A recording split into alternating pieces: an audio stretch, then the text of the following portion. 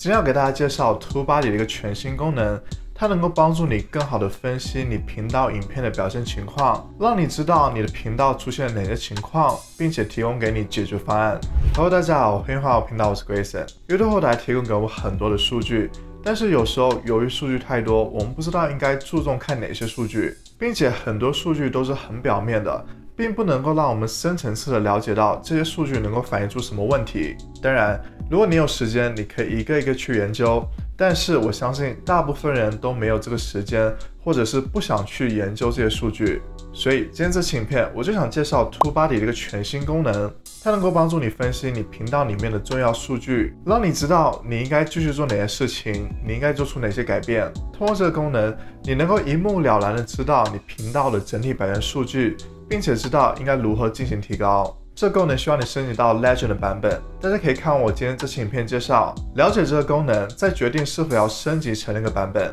如果你是第一次来我频道，我的频道主要是讲关于社交媒体以及网络创业内容。如果你对这种感兴趣，欢迎订阅我频道，一定要记得打开旁边小铃铛，这样你就不会错过任何新影片通知了。那我们话不多说，开始我们今天内容。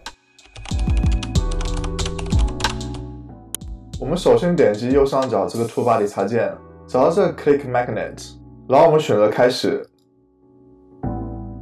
当数据处理完之后，就会出现四个选项。首先第一个选项 Power Rankings，我们点击进入。这个功能就是可以让你知道你的频道里面影片的表现。它又分成不同的流量类别，例如第一个就是 YouTube 搜索，第二个就是推荐影片，第三个就是 YouTube 首页的流量。他这里也说到，如果你想要让你的频道成长更快，你就要做出和这些影片相似的内容，因为这些影片才是观众感兴趣的内容。例如，现在我选择的是所有的流量来源，我的表现最好的就是第一个，如何教大家制作片头动画；第一个就是展示点击率，第二个就是观看时长，第三个就是有多少个点击数。我们可以看到，我的这部影片展示点击率为百分之八点一，观看时长为九天五个小时，点击次数为三千三百九十次，所以它这里的评价是非常高的，是表现非常好的。第二表现好的影片就是这部 YouTube 获利条款更新的影片，我们可以看到这部影片的展示点击率为百分之五点九四，观看时长为十一天十个小时，有三千次的点击次数，它的表现也是非常好的。第三部影片就是这部十个最火的不露脸 YouTube 频道主题，它的展示点击率为百分之五点一五，观看时长为十四天两个小时，有两千七百三十次的点击次数。我们可以再来选一下 YouTube 搜索的流量来源类型，像我的有一些影片的排名就发生了变化，在 YouTube 搜索流量底下，我们可以看到表现第一好的还是这部片头动画教学的影片，但是在 YouTube 搜索流量底下。这部影片的展示点击率为百分之十二点六三，所以这是一个非常高的展示点击率。我们可以看到，排名第二的影片是这部 Instagram 增粉的影片，在 YouTube 搜索流量底下，它的展示点击率为百分之十三点六一。排名第三的是十个最火不露脸 YouTube 频道主题，在 YouTube 搜索的流量来源底下，它的展示点击率为百分之七点四八。我们再来看一下，如果我选择推荐影片流量，会有什么样的不同？现在这些影片的排名又出现了变化。排名第一的是这部十个最火不露脸 YouTube 频道主题，在推荐影片流量底下，它的展示点击率为百分之三点二三。第二部是这部 YouTube 获利条款的更新，它的展示点击率为百分之二点九。排名第三的是片尾动画的教学，它的展示点击率为百分之三点七三。我们最后来看一下 YouTube 首页的流量排行，排名第一的是 YouTube 获利条款更新这部影片，在 YouTube 首页的流量下，它的展示点击率为百分之七点六三。第二部是十个最火不露脸 YouTube 频道主题的影片，它的展示点击率为百分之五点一三。排名第三的是 Instagram 增粉的影片，它的展示点击率为百分之六点五八。所以，我们就可以一目了然的知道，在哪些流量底下，我们的哪些影片表现好，然后我们就可以针对这些主题的影片。展开出更多不一样的内容。我们再来看一下第二个功能，Element Inspector。这个功能主要是让你比较你的缩图，你的缩图有哪些特点让观众点击进入你的影片。例如，如果你的缩图是有露脸或者是不露脸的，TubeBuddy 就会帮你比较，是露脸的缩图更加吸引人，还是不露脸的缩图更加吸引人。以我的频道为例，我的频道的缩图基本上都是露脸的。所以这里就是说，我频道里面露脸的缩图，它的总体的展示点击率为百分之三点八六。这里有更加详尽的信息，它测试了五十部影片，然后有四十八部影片，它的缩图是露脸的。总共的展示次数为九十七万九千四百三十九次，点击数为三万七千八百一十六次。然后这里有显示有两部影片，它的缩图是没有露脸的，它的展示点击率为百分之四点九八，总共的展示次数为八万一千八百七十五次，点击数为四千零七十六次。第二个就是你的情绪，不同的情绪会影响观众是否会点击你的缩图进入观看的影片。图巴里在这里总结出了几个情绪，有开心，有难过，有惊讶，有淡定。有生气，有疑惑，有厌恶，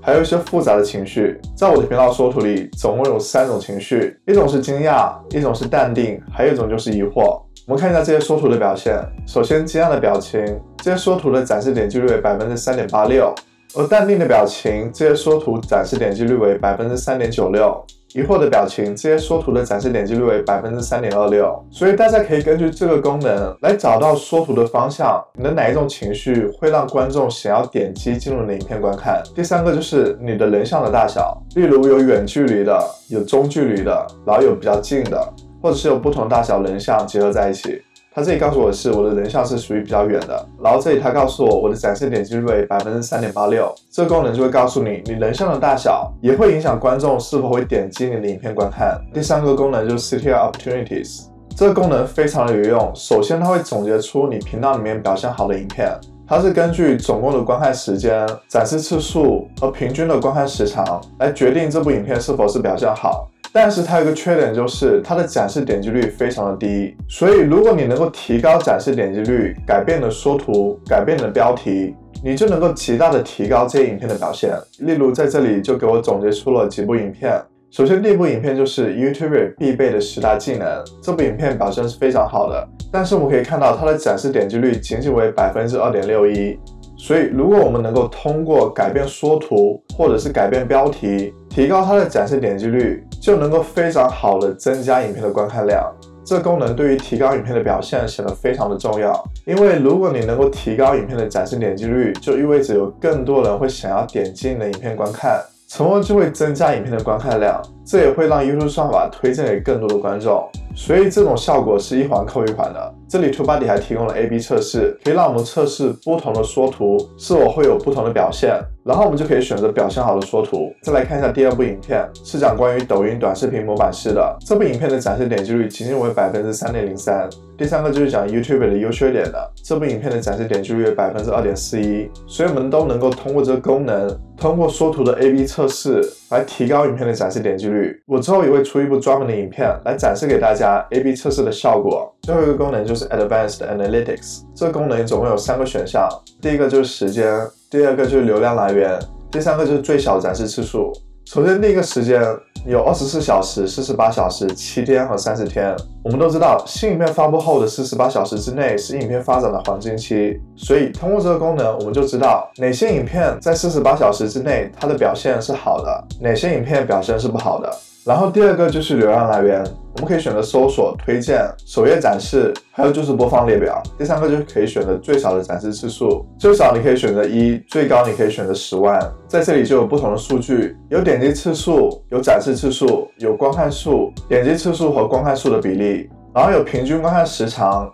平均观看时长比例，有观看时间、总共观看时间，有展示点击率，还有它的综合排名。例如我选择新影片发布后的四十八小时。在这里就会给你一个影片排名。如果你想根据某一个特定的数据来排名，你可以点击这个数据，现在排名就会发生变化。我也可以按照平均的观看时长作为排名，或者是展示点击率作为排名。这功能就能够非常好的帮助你分析你的影片的重要数据，让你知道你影片的表现好坏。同时，你还可以输出这些数据成为 CSV 文件。我认为 turbo 的这个新的功能能够很好的帮助我们节约时间，能够让我们知道我们平时忽略的重要数据。让我们直接的知道影片表现好坏的原因，并且给我们提供了提高的方案。TubeBuddy 有很多的功能，如果你想要了解其他 TubeBuddy 的功能，可以去参考一下我的这部影片。这部影片提到的功能，能够通过免费的版本就能够实现。同时，我也会把 TubeBuddy 的免费下载链接放到底下的评论区。如果大家觉得今天这期影片对你有帮助，欢迎为我点个赞。如果大家还想了解更多关于 YouTube 内容，欢迎订阅频道，同时关注我的 IG，那会分享更多不一样内容。那我们下次再见，拜拜。